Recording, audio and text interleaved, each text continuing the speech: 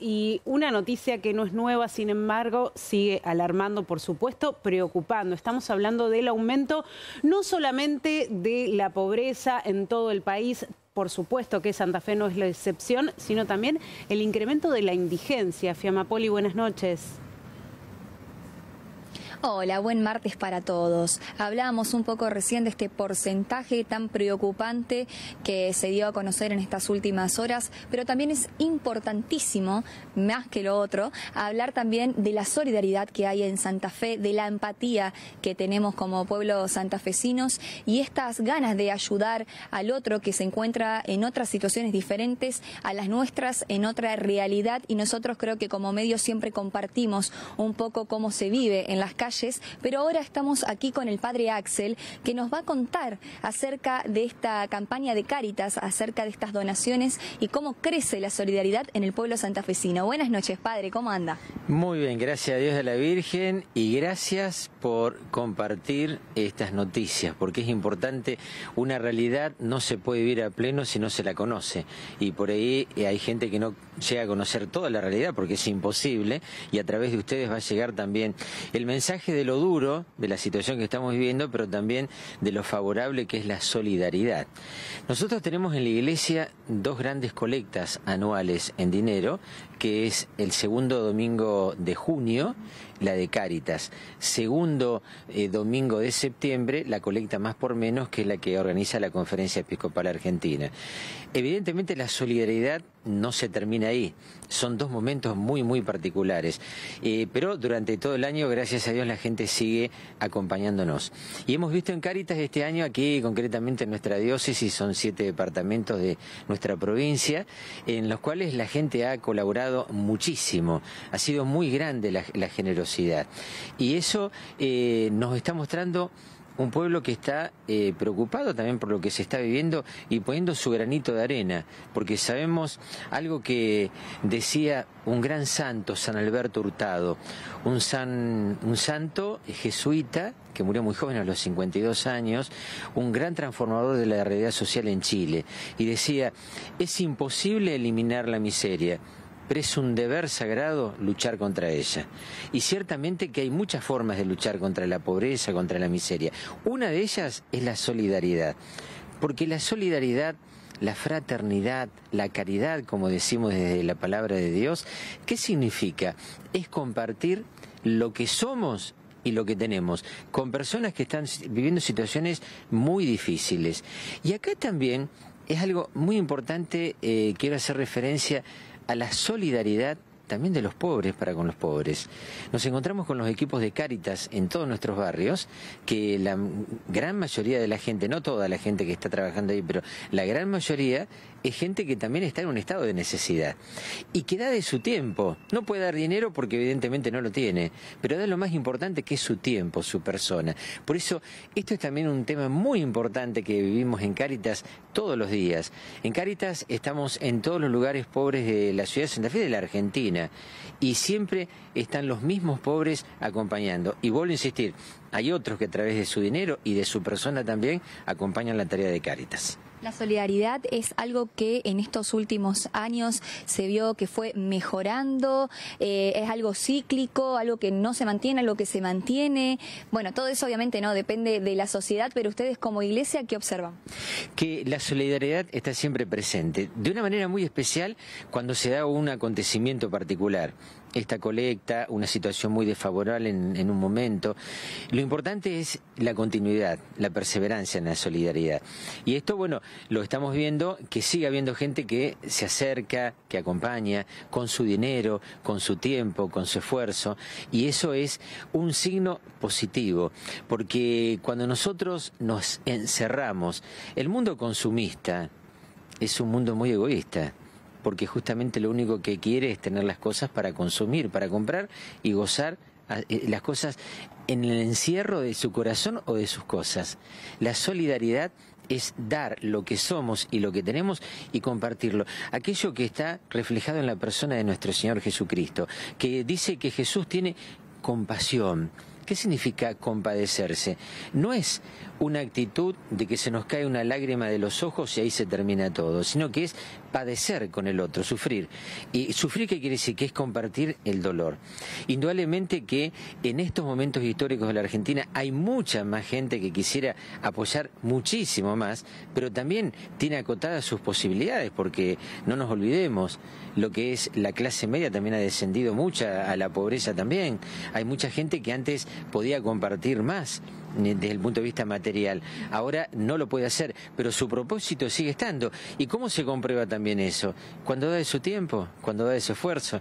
Quiere decir que la solidaridad sigue estando presente y sigue siendo un signo de esperanza, incluso para los más necesitados. Una persona que ve que hay una comunidad que acompaña, una comunidad que está presente, una comunidad que da su tiempo por el que más necesita, indudablemente eso genera esperanza en las personas más necesitadas. Bien, padre, a propósito de lo que usted nos contaba recién y también tomando en cuenta lo que estás en realidad sucediendo en este invierno, las bajas temperaturas que eh, todavía quedan, quedan algunos días más eh, con bajas temperaturas. ¿Las necesidades en los barrios empeoraron? Sí, muchísimo. Empeoró muchísimo porque eh, todo lo que sea la ayuda de asistencia social por parte del Estado también ha, disminuido en cuanto que siguen estando algunas, algunos planes, ayudas, pero que se ha justamente congelado ¿eh? lo que se dio, lo que se estaba dando hace un tiempo es lo mismo que se está dando ahora. Y eso la inflación se lo come todo. Incluso recordemos ¿eh? que el último estudio de la UCA nos muestra claramente que la franja que más está sufriendo con todo esto es la, franja de los más pobres. No solamente porque hay eh, menos trabajo en las changas, ¿no? Hay menos ingresos, sino que también este, también pobre gente se está metiendo en muchos préstamos, buscando dinero para tratar de, comer, no otra cosa. Entonces se le hace mucho más difícil. Indudablemente que las necesidades son muy grandes y realmente lo que estamos viendo incluso en, Santa Fe, que hace eh, unos años atrás no se veía de la manera tan profunda, ¿no? La cantidad de gente que hay en la calle, situación de calle, gente buscando en, la basura, es realmente tremendo, ¿no? Es realmente tremendo y eso se ve también en los barrios porque eh, nosotros de pronto en la calle donde yo estoy en este momento atendemos a centenares de familias, de familias, y vemos familias que antes no necesitaban y ahora lo están necesitando. Quiere decir que el cuadro está desmejorando y, y desgraciadamente eh, no se ve que en, lo, en, el corto tiempo esto pueda mejorar, porque realmente es muy, pero muy complicada la situación. Bueno, a propósito, quizás con lo que usted nos decía recién de, de, que cada vez hay más gente pidiendo en los barrios, estas necesidades se pueden desplazar por también diferentes partes de la ciudad. Y sí, por supuesto que sí, ¿no? Porque indudablemente eso también es bueno, ¿no? Saber que somos todos una ciudad. Eh, no, no podemos establecer diferencia entre un sector y otro. Sí, evidentemente hay sectores que la están pasando mucho peor, pero que indudablemente... Hay otras realidades y no encerrarnos en la nuestra, como lo decía usted. Totalmente, ¿eh? porque... Y en esto vamos al cristianismo, ¿no? Dice la palabra de Dios que Jesús, siendo rico, se hizo pobre. Vino a compartir nuestros sufrimientos, nuestros dolores. Así también tenemos que hacer nosotros en estos momentos. Sabemos que hay, eh, a la mayoría de la gente la, está pasando cada vez peor. Pensemos en los jubilados también.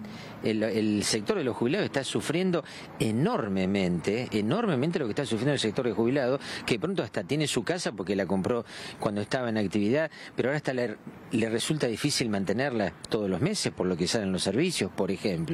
Bueno, pero que no tenemos que olvidarnos que lo importante es poner mucho amor mucho ingenio también para poder también en esto compartir lo que tenemos.